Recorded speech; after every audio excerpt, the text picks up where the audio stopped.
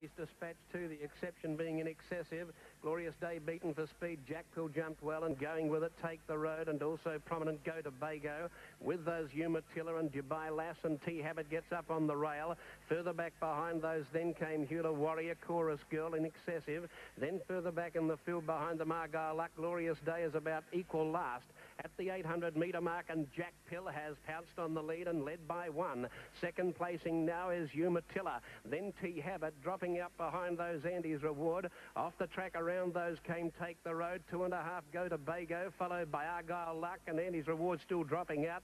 Glorious Days a mile off them, so too at that point, as they're about to swing, was Argyle Luck. Hula Warrior's gone to centre field, and then Chorus Girl. In the straight they race. Dubai Lass, one of the last in the running. It's Jack Pilly's dropped down near the rail, and Umatilla's coming after him. It's a repeat of the other day. T Habit has also gone to third. It's on once more. It's Jakpil. Umatilla, the outside, is really challenging. Umatilla's coming at Jakpil. Jack Pill has got a fighter's heart, and the son of the pug is going to be just too solid again. Jakpil.